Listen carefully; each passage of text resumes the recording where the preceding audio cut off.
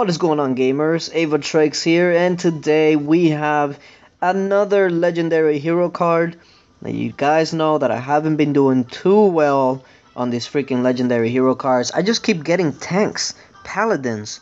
Like can I get over the hump? Something like I want to get a Pumpkin Duke, a Cupid, somebody worth it even though this account doesn't need it. I just want to make sure that it's that it's real like you can actually get them.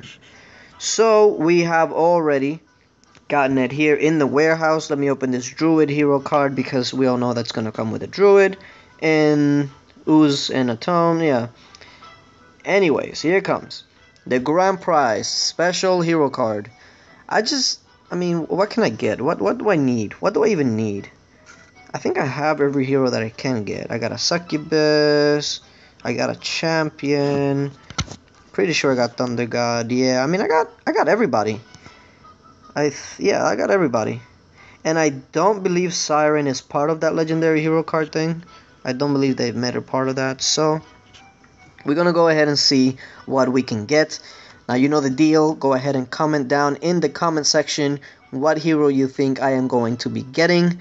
Paladin is out of the equation. We've already known that I've already you know, I've gotten all the paladins that I can get, so he's not even near anywhere here.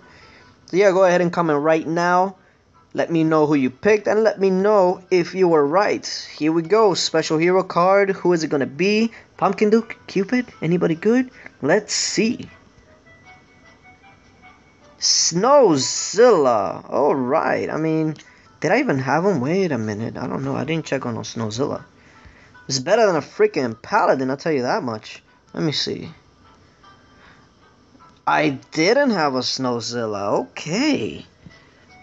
Not. A, I mean, I'll take it. I'll definitely take it over a Paladin or any other other crappy heroes. So yeah, the right answer was Snowzilla. Were you right? But yeah, guys, thank you for watching, and until later, bye.